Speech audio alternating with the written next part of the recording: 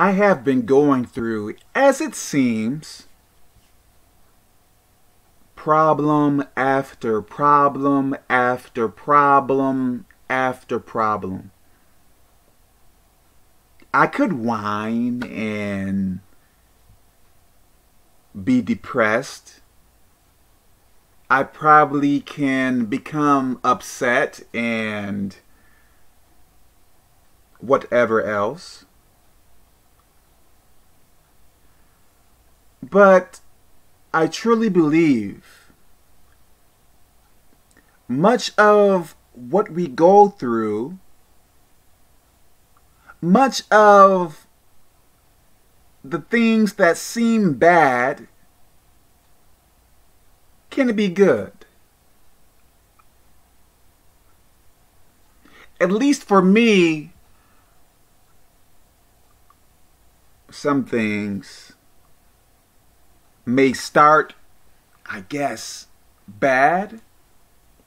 But after a while, it seems like that bad thing opens up a pathway to good things. So if you are trying to live for Jesus Christ and it seems like back to back bad things are happening to you to where you feel like quitting or giving up on Jesus Christ, which is the same thing as quitting, don't. I was reading with someone, and this is about something else.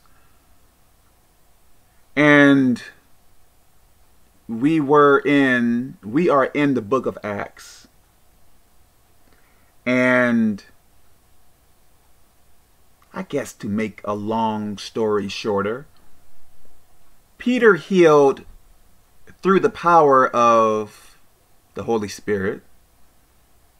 Peter healed a lame man. Now, if I am saying this correctly, the Pharisees and I think some other people were trying to figure out a way on how to punish Peter and John, I think it was.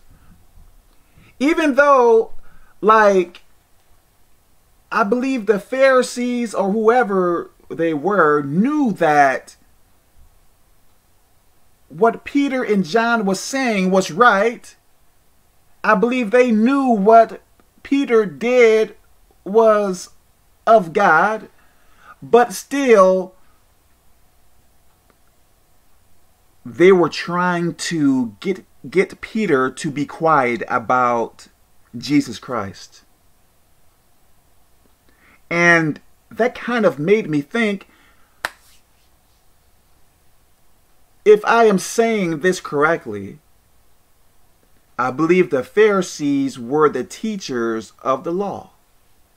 So in a sense, I guess I can say, they were supposed to be men of God. But they were trying to hold back the truth. Listen now. Just because someone is a pastor, bishop, deacon, elder, or whomever, whatever position in the church, it doesn't mean, let me say this right. It doesn't mean you should follow them blindly. It doesn't mean you should go by what they say blindly. Because what if that pastor or that bishop or whomever is a false teacher or false prophet or a wolf in sheep's clothing. Would you be willing to be led astray because someone holds a title? Even if someone claims to be Christian, doesn't mean you should be trusting of that person. Please listen to what I am saying. I think if someone claims to be a Christian or man of God, I think you have to be, in some cases, I guess, even more careful with those people even if I become pastor or bishop or whatever, does it mean you should follow whatever I say? Does it mean I will never be wrong? Does it mean I will never be corrupt? Look now. I guess you can follow a person as long as they are following Jesus Christ, once somebody gets off the ship, gets off the boat, as in stop living for Jesus Christ, don't follow that person anymore. And you may say, How would I know? How how will I know if someone is not living for Jesus Christ? Well,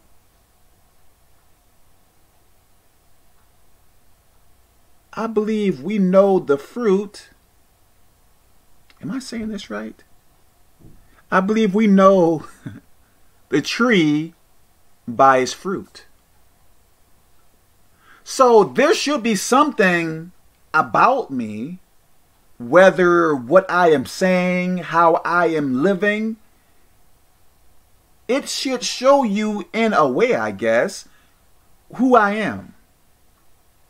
So if I begin to say false things and continue to do so, if I go around telling people to live for Jesus Christ and you see me doing really evil things consistently, and if I am telling you all I am a Christian, then you know that it is more than likely I am not a Christian. Why? Because of what you see. Don't blindly trust leaders judge them. As in look at them like hey should i do what this person is saying? Like what this person is saying sounds kind of off. Should i just do it anyway because that is pastor so and so don't do that. Judge what people say.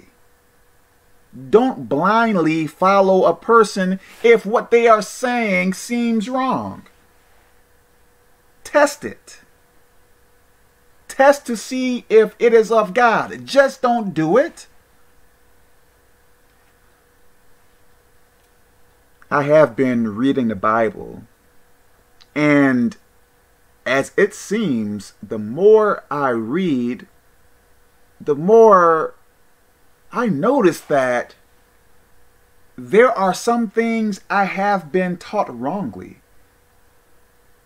I believe there are some things people are still teaching wrongly, which I don't know everything. Look,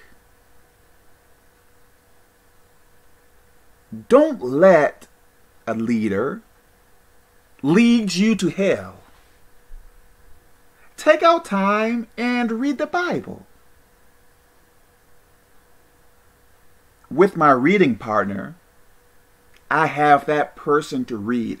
I know I don't know everything, but I think that person knows less. So I have that person to read and explain it or have that person explain it as we go.